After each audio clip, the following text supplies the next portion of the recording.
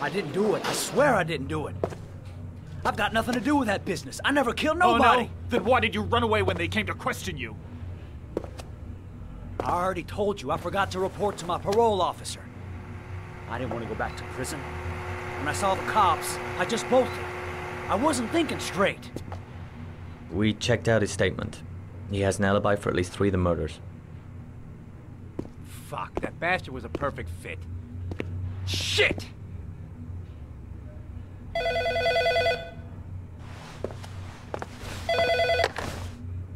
Ash? Okay.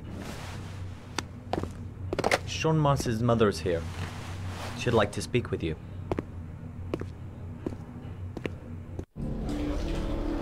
It was a few months back, the middle of the night.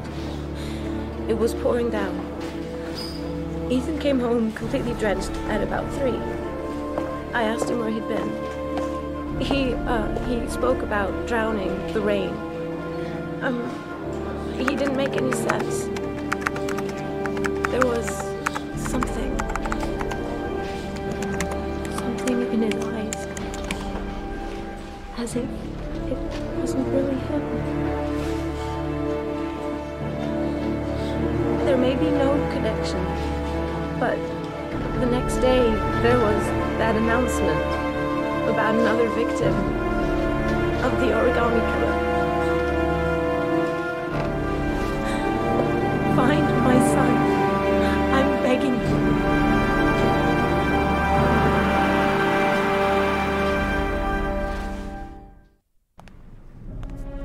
I'm Police Lieutenant Carter Blake, this is Agent Norman Jayden of the FBI. According to our information, Ethan Mars is one of your patients. We'd like to ask you a few questions about him. I'm sorry, that's impossible. I beg your pardon? I'm bound by an oath of secrecy. Under no circumstances may I discuss my patients. My job is to find Shaun Mars alive, and I don't give a damn about any bullshit oath.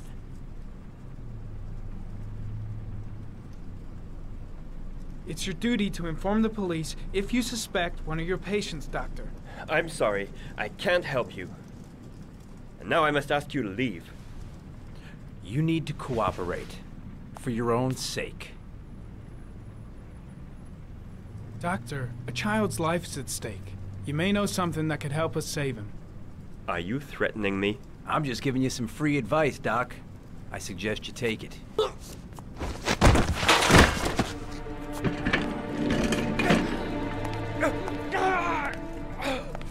Come on, Doc. There's an easy way and a hard way. It's your fucking choice. You have no right to hit him. I'm saving a kid's life for Christ's sake. If you don't like it, leave. Oh! What's up with you, Norm? Huh? You getting cold feet? You don't like to get your hands dirty, huh? I thought you wanted to save that kid. I want to save Shaun Mars just as much as you do, but that doesn't give me the freedom to do what the hell I like. So you're gonna stop this shit right now.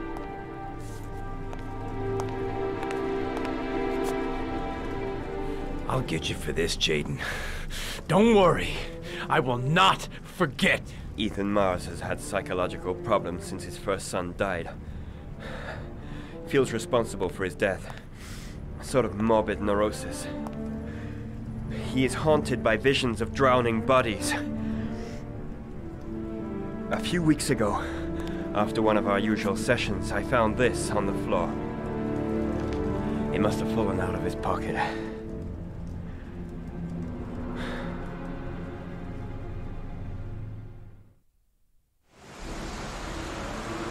I want you to assign every available man to finding Ethan Mars. I want a man outside his place day and night. Notify all agencies to start looking for him. I want you to keep an eye on the train stations, the airports, the bus terminal. I want every cop in the city on his ass, so that if he moves, we know about it. Yes, Ethan Mars is the origami killer.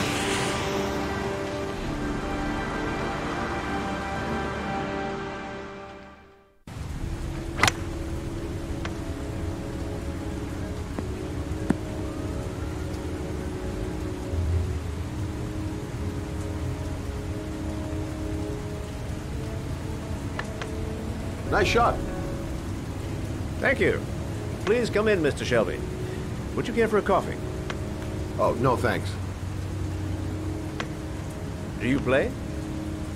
I tried once, but I think the owner of the course is still looking for me. It's an interesting sport. It requires strength, but also a cool head and absolute precision. Would you care to hit a few balls with me? There's no danger of damaging the greens here. Okay. Take off your jacket and grab a club.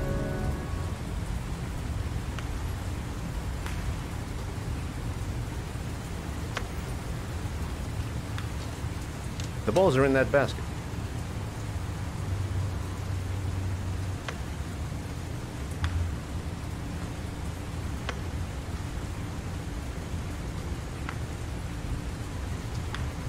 The most important thing is to grip the club correctly.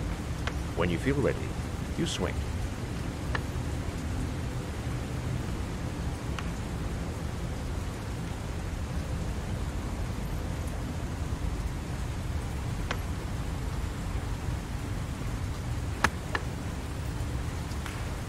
Well, it's only your first ball. You should try to strike it a little harder next time.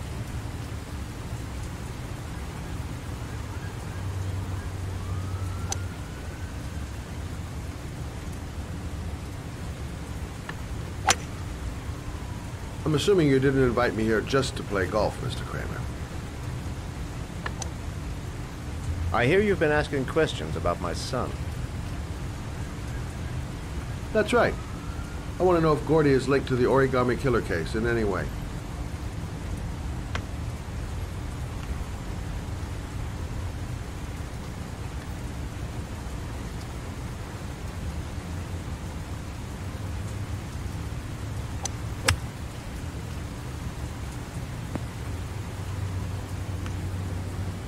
My son had nothing to do with that sordid case.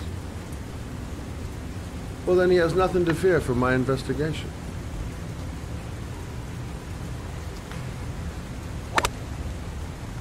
You have no business investigating my son. I told you, he had nothing to do with it.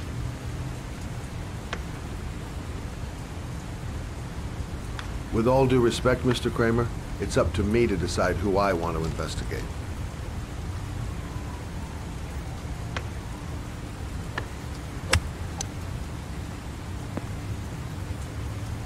I'm an influential man, Mr. Shelby, and I pay very well for loyalty. Are you trying to buy me? Let's just say I'm trying to show you where your interest lies. How much do you want to leave my son alone? I think you misunderstood me. I don't play that game. Don't go near my son, Mr. Shelby. If you do, you'll regret it. Have a nice day, Mr. Kramer.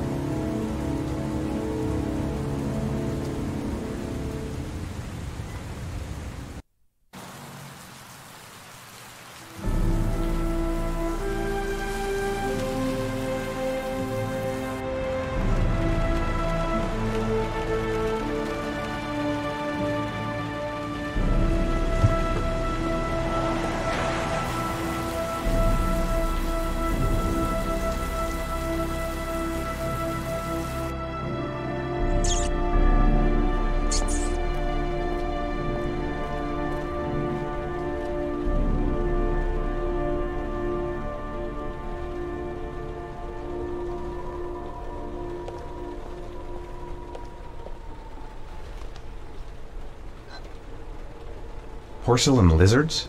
They look new. Out of place with the rest of this old beat up stuff.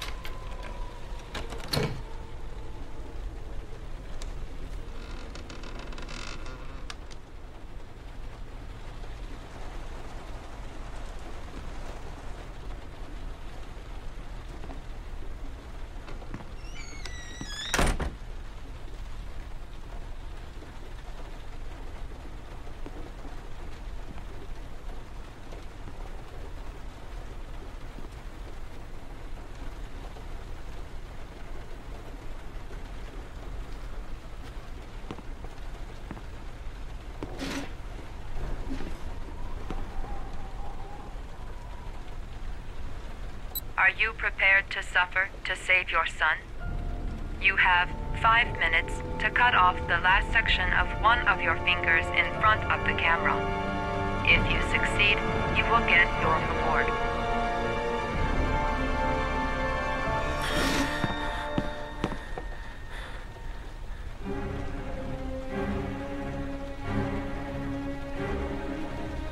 Cut off a finger? No way!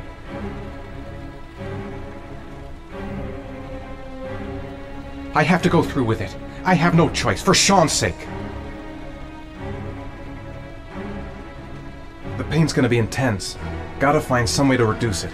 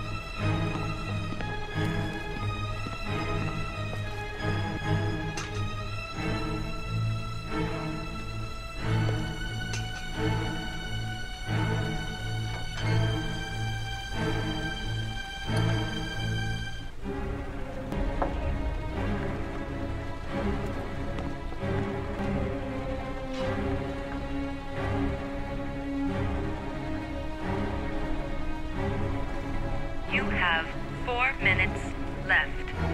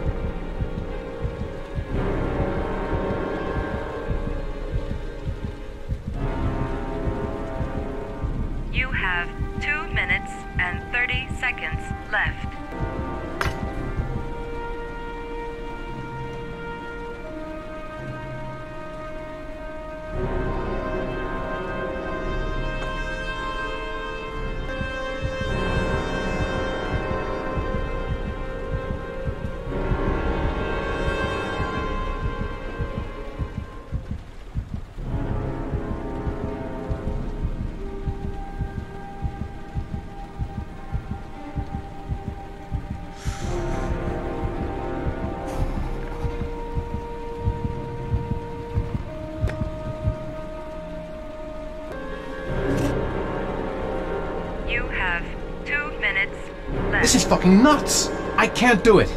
I want to save Shaun, but I refuse to do this!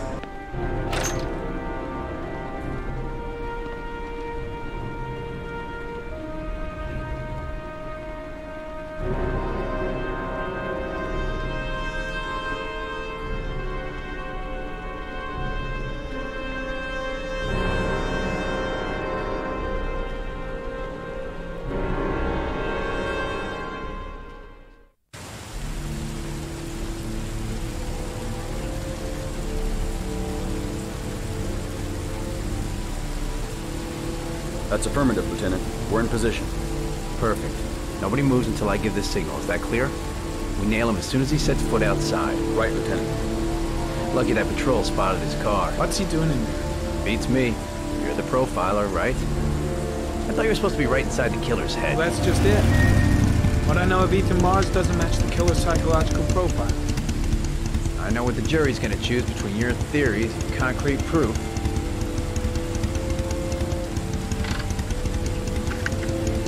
What the fuck is that girl doing there? If Mars comes out now, she's gonna be in trouble. What do we do, Lieutenant? Want to get her out? No, stand down.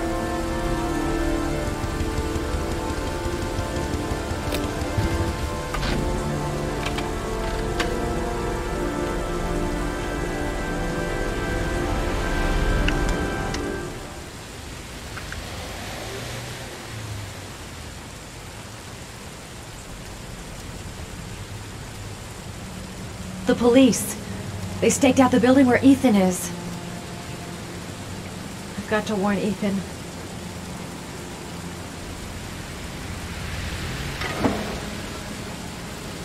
She's going inside. Maybe she lives there. Well, it's just as well. We don't want anyone hanging around if Mars comes out. The police. They're out there. I think they're here to arrest you. What are you doing here? You followed me? I'll explain later. Come on, we've got to find another way out of here. Shit. What's he up to in there? Wait for a go on my word.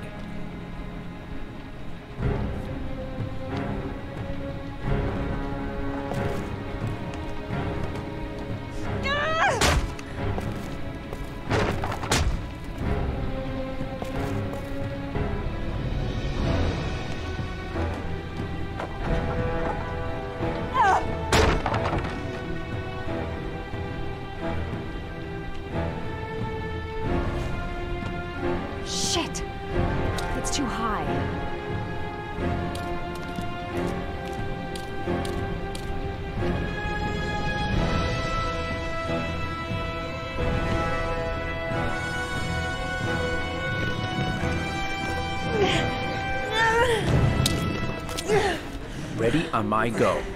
Stay here, Jayden. Out of the question. I'm coming with you. Two men at the door, hold your positions. It's a go.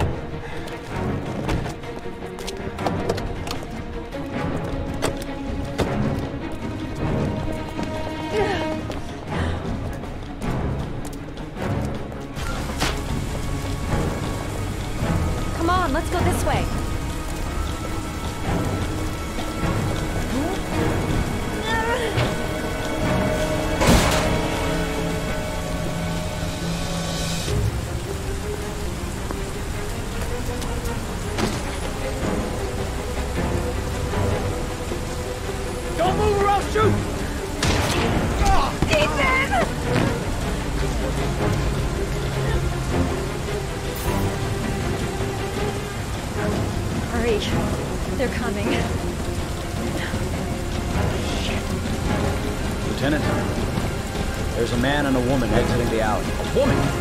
Shit. It's that girl who went in. Everybody downstairs. They're in the alley. Follow them. The subway.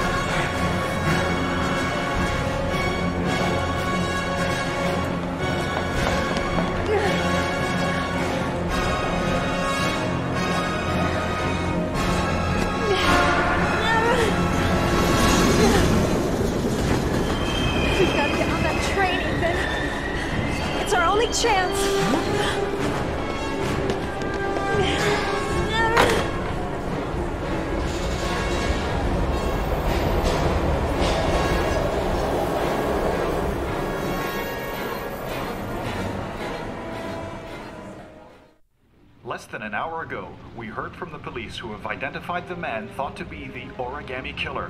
Ethan Mars, father of the kidnapped victim Shaun Mars, is on the run and should be considered armed and dangerous. A police manhunt is now underway, and they hope that they will soon be able to announce the apprehension of this dangerous lunatic.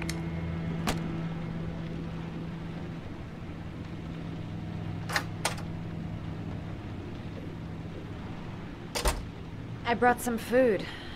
I didn't know what you liked, so I brought some of everything. I, I hope that's okay.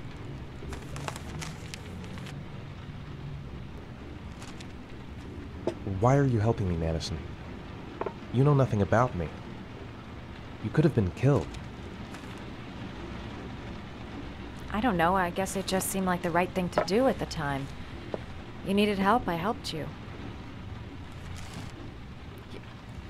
You're all over the news reports, Ethan. Every cop in the country will be hunting you. They say you're the origami killer. Is it true? Are you the killer, Ethan?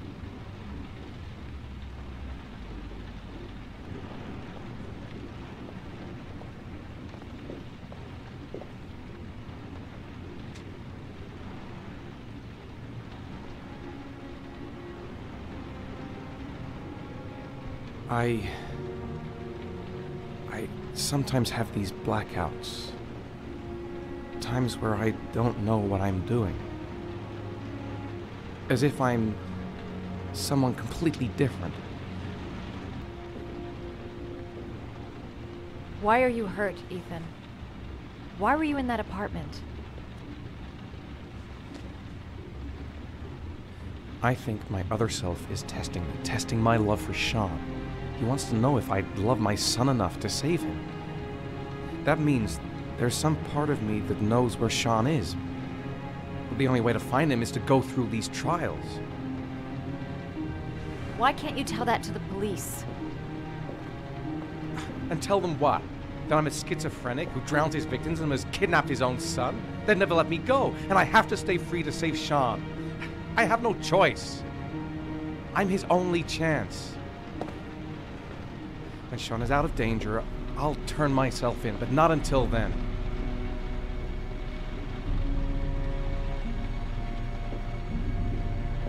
You can't keep going like this. You're destroying yourself, Ethan. Finding Shaun is the only thing that matters. There has to be another way. You don't understand. Time is running out. Shaun will be dead in a few hours. I have no choice.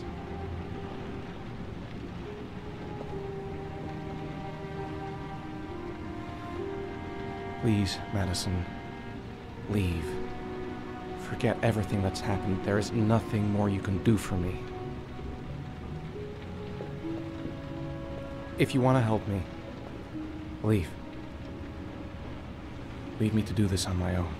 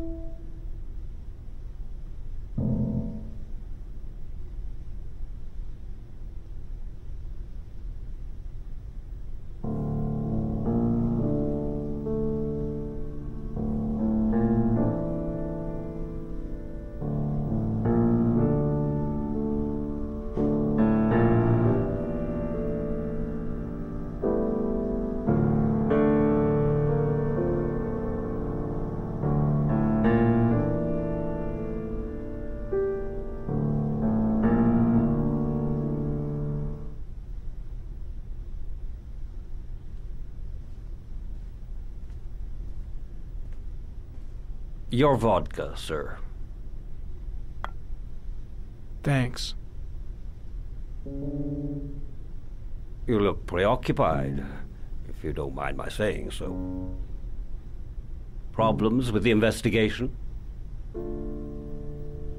Blake is convinced that Mars is the killer.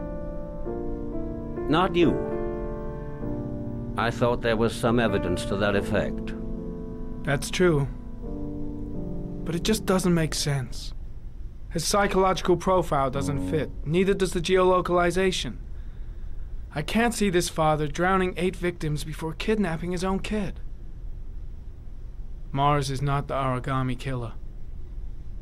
I'd stake my life on it.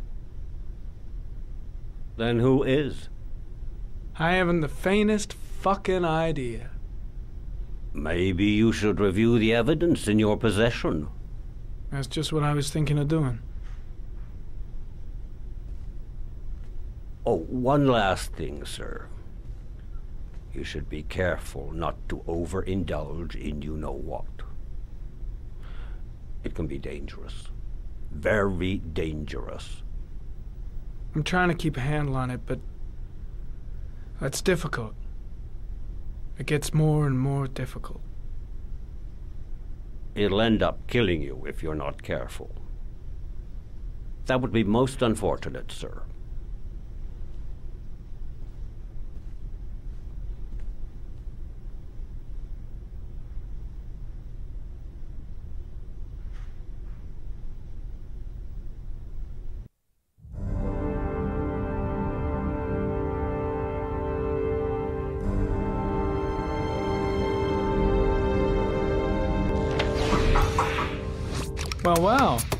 Like there's something new. The video recording from near the park on the afternoon Shaun Mars disappeared. I doubt there's anything on it, but you never know.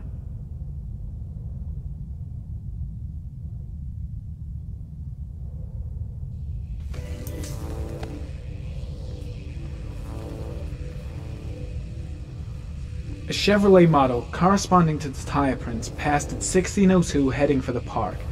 Went in the opposite direction at 1637. That could fit the time that Shaun Mars disappeared. Could it be the killer's car? Ah, pity we can't see the driver's face.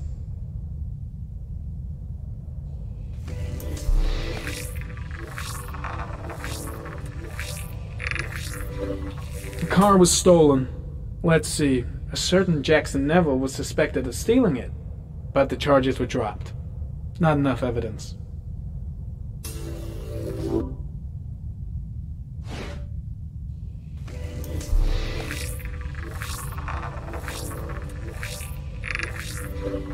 Jackson Neville, aka Mad Jack, involved in several cases of buying and selling stolen vehicles. Considered to be very dangerous. This guy might have provided the killer with a car. It's a pretty slim lead, but it's all I have right now.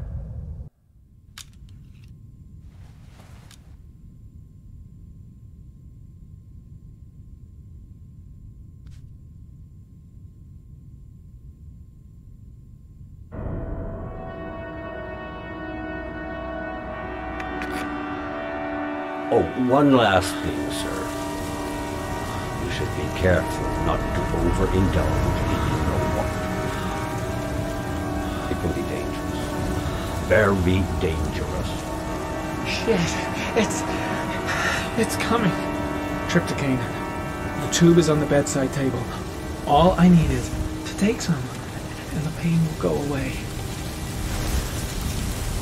I should resist. This is gonna kill me.